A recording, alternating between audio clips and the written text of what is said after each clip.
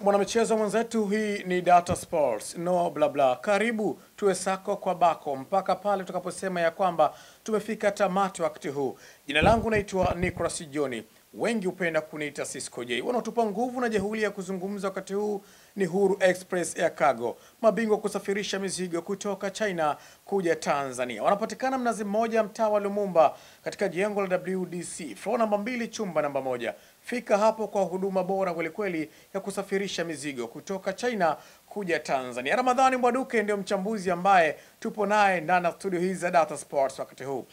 Karibu Data Sports, Ramadhani Mwaduke. Shukran sana bwana Niko. Uko vizuri? Mimi niko vizuri. Sawa. Ramadhani inaenda vizuri?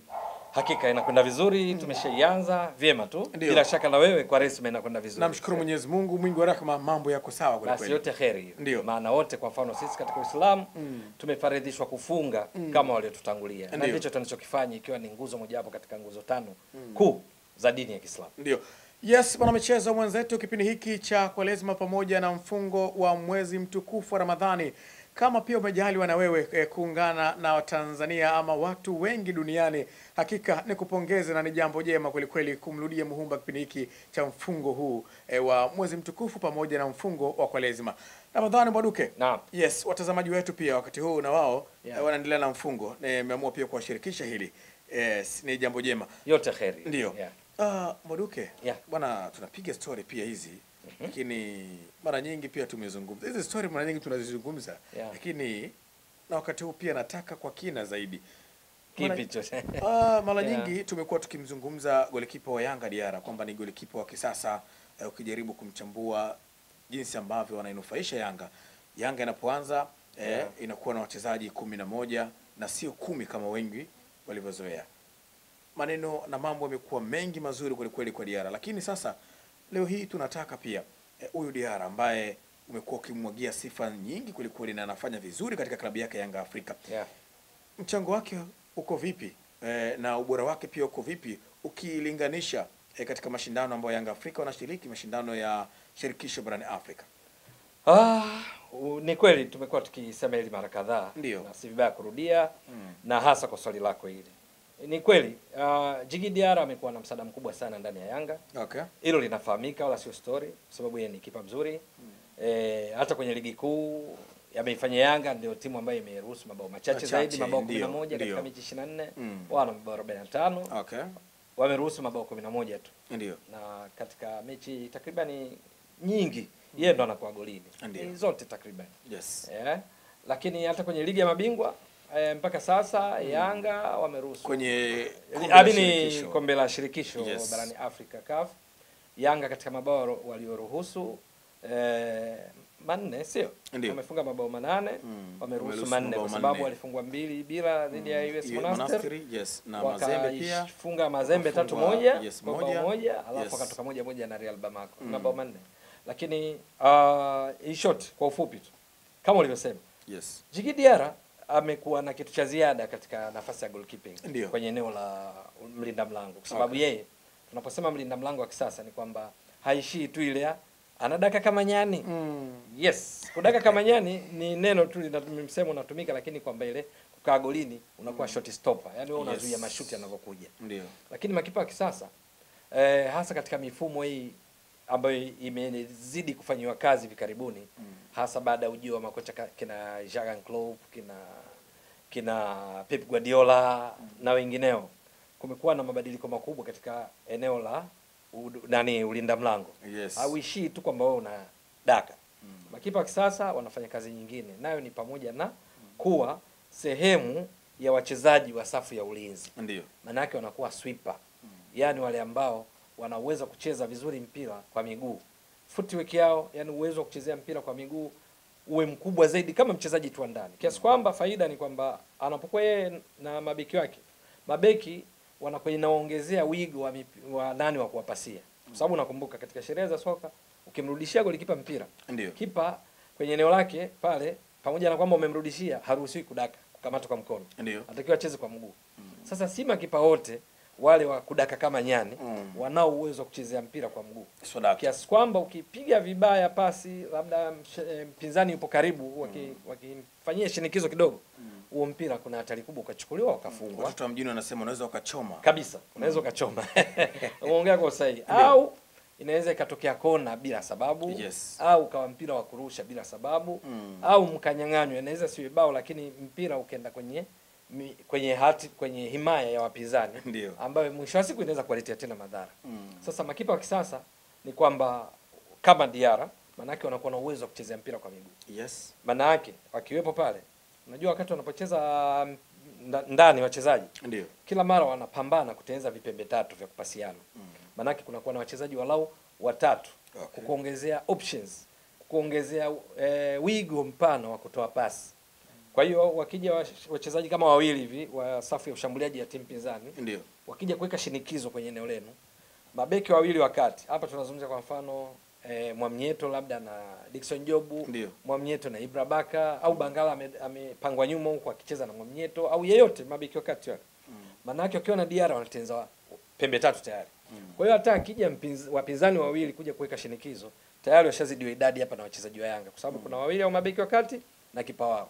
Au anaweza akawa mmoja wakati na beki wa pembeni labda. Juma Shabani au Kibwana Shomari. Mm. Au beki mmoja wakati na beki wa kushoto Lomalisa au yeyote atakayepangwa. Ndio. Sasa hii maana yake inaongezea wigo wa kuendelea kumiliki mpira, kumiliki mpira. Angekuwa kipa sawa sifa hizi, wachezaji hata mabeki wenyewe wanaogopa kumrudishia mpira. Okay. Ange kipa akiupata, akipasiwa mpira kama huo anauosha. Kwa hiyo unakuwa umepotea. Mm. Lakini pia kipa ambaye anaweza kucheza mpira kwa miguu, maana yake hata mipira yake anayopiga mbele mingi inakuwa inafika kwa mtu, sio ya kwenda kupotea. Okay. Sifa hizi zote nazozieleza Jigi Diarra anazo Yes. na kwenye kombe la shirikisho sasa hapa ndo amethibitisha zaidi ubora huu. Unajua kwa sababu gani? Ndio. Hapa tunapozungumza ni kwamba Jigi Diarra kwanza ndani ya Yanga ni miongoni mwa wachezaji vinara kwa kupiga pasi, yaani wazuri mno kwenye kupiga pasi, japo yeye ni golikipa. Ndio. Hilo moja, na tena sio tu ndani ya klabu yake ya Yanga ambako anawapita hata wachezaji wa ndani wengi tu wengi tu Mm. lakini pia ndio kipa namba moja hapa tunapozungumza mm. katika timu zote kumi na- sita zinazoshiriki hatua ya makundi ya kombe la shirikisho CAF. Ndio. Utahitaji takwimu bila shaka. Ndio. Yes, so doctor. Mpaka dakika hii mm. ambapo Yanga wameshacheza mechi tano za hatua ya makundi ya kombe la shirikisho, jigidiara ameshapiga pasi 127. Okay. 127 ni nyingi mno bwana Cisco, Ndio. kwa sababu wapo wachezaji wengi wa ndani hawafikii idadi ya pasi. Hata eh, kuna baadhi ya timu vinara wao wa pasi Ndio. pasi walizopiga hazifikii za Diarra. Kwa mfano kinara wa pasi ndani ya klabu ya US Monastir Ndio. hafikishi hata pasi mia. Diarra golikipa wa Yanga ana pasi mia ishirini na saba na katika pasi hizi mia ishirini na saba eh, zipo pasi arobaini na sita amezipiga katika eneo la upinzani, Ndio. yaani kwa maana kwamba manake mwingine si utatarajia kwamba hizi pasi hizi mm. labda anampigia Kwa sababu yeye ni kipa atakuwa anapiga anampigia he Yes. Mwamieto, Mwamieto anamrudishia mm. au anampigia Juma Shabana anamrudishia. Hapana, Yes. pasi 46 kazipiga kwenye eneo la wapinzani, yaani baada ya mstari wa kati wa kugawa uwanja ule upande unaofuatia yeye amezipiga kule, kipa huyu. Ndio. Maanake hizi pasi ni zile zinazokwenda kwa kina Mayele, yani zinamkuta Mayele au Musonda mm. au Moloko. eh, Moloko mm. au eh, mtu yoyote wa katikati hapa kama Yes. ame- amekwenda mbele hapa, namaanisha eh, kina Aziziki wenyewe Ndio. au Aucho umeshaona mm. mm. au Shuaboi au Mauya, yeyote ule akishakuwa katika eneo la upinzani, yani nusu ya upinzani kule, alafu apigiwe pasi na Diara, inakwenda moja kwa moja na inamkuta. Ndio. Kwa hiyo hii ni sifa ya Jigi Diara. Nimekwambia ndiyo namba moja. Wacha nikutajie mpaka namba tano, wajue mpaka sasa hivi makipa wanaoongoza kwa kupiga pasi katika mm. kombe la shirikisho linaloendelea hivi sasa, ambapo kila timu imeshacheza mechi tano tano, mm. zimebakiza mechi moja moja kukamilisha raundi zote sita za hatua ya makundi, Ndio. ambapo Yanga tayari imeshafuzu katika hatua ya robo fainali ya kombe la shirikisho hili wanaloendelea. Sawa. Namba moja ndio huyo Djigui Dia- Diarra wa Yanga ya Tanzania. Okay. Huyu unajua ana advantage pia. Wakati wa makuzi yake kisoka mm. aliwahi kuwa mchezaji wa ndani. Ndio advantage. Ndio. Hadi timu ya taifa ya vijana Mali mm. anafahamika vizuri kwamba ni mchezaji mzuri wa ndani. Sasa kuwa kipa tayari ni mtaji mkubwa kwake katika mahitajio ya golikipa wa kisasa. Ndio. Kama unakumbuka Barcelona hizi zile ya Pep Guardiola ilikuwa inamtegemea sana. Kuna golikipa eh, alikuwa ndo anamtegemea zaidi Mm. eh, Guardiola Victor Valdes kwa ajili ya kuanzisha mipira nyuma. Hata sasa anamtegemea zaidi Ederson. Hata Liverpool wanamtegemea pia golikipa wao yule Brazil, si ndio? Sasa Djigui Diarra pasi 127 ndio namba moja katika timu zote 16 Okay. zilizogawanyishwa katika timu nne nne kwa amini kwa makundi manne ya kombe la shirikisho. yeah. Namba mbili ni golikipa wa klabu ya DC Motema Pembe anaitwa Heve Lomboto. Mm. Yeye mpaka dakika ameshapiga pasi 114. Okay. Heve Lomboto. Ndio. Nambari tatu Mm. e, ni golikipa wa klabu ya Diabonoas. Yeye anaitwa Dodi Fotou. Okay. Dodi Fotou ameshapiga pasi 106. Okay. Nambari nne ni golikipa wa klabu ya Marumo Gallants ya kule inayoshiriki ligi kuu ya Afrika Kusini PSL. Mm. E, huyu anaitwa Washington Arubi. Okay. Yeye ameshapiga pasi 79. Ndio. Halafu nambari tano Mm. ni golikipa wa klabu ya Askokara. Yeye anaitwa Mahadiu. Mahadiu Sama. Mahadiu Sama ameshapiga pasi 61.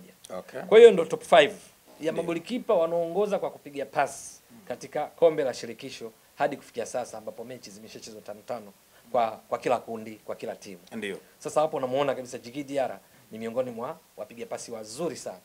Nilikwambia hata kwenye Yanga yeye mm. ni miongoni mwa wapiga pasi wazuri sana na ana, anawazidi wengi, ingawa ni kwamba yeye ameshacheza dakika zote katika timu yake ya Yanga, ameshacheza dakika nyingi, dakika 450 nafikiri, okay. kwa maana kwamba amecheza mechi zote. Kwa kuna baadhi ya wachezaji kwa mfano eh, Bakari Nondo Mwamnyeto Mm. Bakari Nondo Mwamnyeto amepiga pasi 117 Mm. yeye Jigidiara ana pasi 127 Okay. kwa mfano kuna Shwaboy, Shwaboy piga pasi 117. Mm. Yeye Djigui Diarra ana pasi 127. Japokuwa ni kwamba Shwaboy hajacheza dakika nyingi kama alizocheza Djigui Diarra. Okay. Huo ni mfano. Aziz Ki amepiga pasi 77. Ndio. Mayele amepiga pasi 48. Umeshaona? Lakini hao ushangai sana kwa sababu ya nafasi yao wako mbele kule. Wao kazi yao kuletewa mipira ili waitumie kwa ajili ya kuipa timu ushindi. Lakini all in all pasi 127 ni nyingi nyingi sana Okay. kwa golikipa. Ndio. Kwa hiyo huu ni msaada mkubwa anaotoa Djigui Diarra. Mm. Ukienda kwenye majukumu yake ya msingi kama kipa, ile anadaka kama nyani. Mm. Ashacheza save 13. Okay. Sawa. Mm. Lakini pia ameshafanya punching, punch ile kupiga mpira utoke. hivi mpira na ngumi. Hizo punch ashapiga tatu. Alafu kuna kitu inaita catch, kukamata mpira. Mm. Ashakamata mara mbili. Okay. Lakini sio hilo tu. Hii kazi yake ya kuwa kama mchezaji wa ndani, huwezi amini. Ameshafanya clearances kumi. Clearances ni kitendo cha mchezaji wa safu ya ulinzi kuondosha mpira kwenye eneo hatari mm. ili tu timu yake iwe salama. Unapofanya clearance, unapoubutua, unapouosha, haijalishi huo mpira umetoka nje, umeenda kwa mpinzani, umeenda kwa mchezaji mwenzako, mm. lakini unakuwa umeokoa. Umeuondoa katika eneo lenu la hatari. Yes. Yes. Na uwezi ukauondosha uka, ukafanya clearance mm. kwa kiungo kingine, yani kwa, kwa mikono.